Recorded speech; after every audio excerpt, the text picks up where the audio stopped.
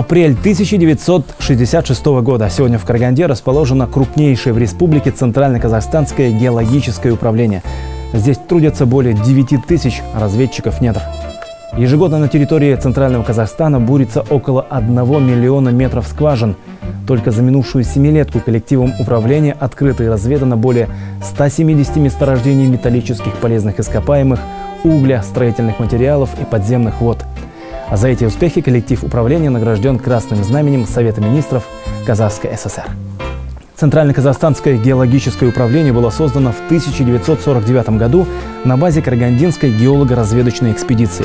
За последующие годы в Сары-Арке была создана богатейшая минерально-сырьевая база, не имеющая аналогов в мире по богатству и разнообразию видов полезных ископаемых. Благодаря открытиям геологов на карте республики появились такие города, как Караганда, Экибастуз, Тимиртау, Жесказган, Балхаш и другие крупные центры горнодобывающей и перерабатывающей промышленности. За всеми этими достижениями стоял уникальный коллектив высококвалифицированных специалистов, геологов и геофизиков, геохимиков, гидрогеологов, буровиков, горняков – Первым начальником Карагандинского геологического управления был Цезарь Маркович Фишман. Он приехал в Караганду из Днепропетровска. В экспедициях работали в основном молодые специалисты, выпускники разных вузов Советского Союза – Москвы, Ленинграда, Киева, Львова, Томска, Алматы, Саратова, Харькова, Свердловска. Сложился коллектив энтузиастов-единомышленников, стремившихся познать геологическое строение Центрального Казахстана. Работу этого коллектива направлял главный геолог управления Иван Владимирович Орлов – в середине 50-х по его инициативе была начата детальная геологическая съемка Каргандинского угольного бассейна. Ну, я с Украины, с, Вол, Волынской области, учился я во Львове. Это был 52 год, сразу после войны. Вначале думал пойти в биологи там или еще куда-то. Вот. А рядом была приемная комиссия геологов приемной комиссии, аспиранты, ну так образно рассказали, чем занимается геология и э, что делать. И я подал туда документы. Ну, к счастью, сразу же и поступил. В Казахстане э, это прошли школы или начинали работать здесь э, ученые союза с мировым именем. Здесь Пейвер работал, который скажем, впервые э, начал выделять глубинные разломы. Коптев Дворников, академик, э, здесь изучая интрузивные массивы, это, то есть породы, которые возникли из магматического раскала на определенной глубине люди были вобли, просто влюблены в свою э, специальность, отдавали все свое свободное время.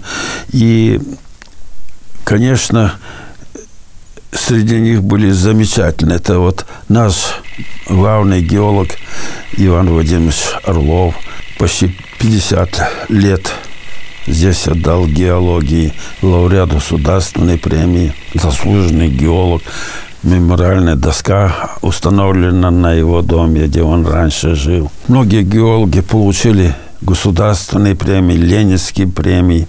Ну, это я только назову только объекты, за которые это Закаражал, который разведывалась прежде всего как рудная база для казахстанской магнитки. За открытие и решение проблемы свинца, потому что в то время был очень востребованный элемент, получили Ленинскую премию группа наших товарищей.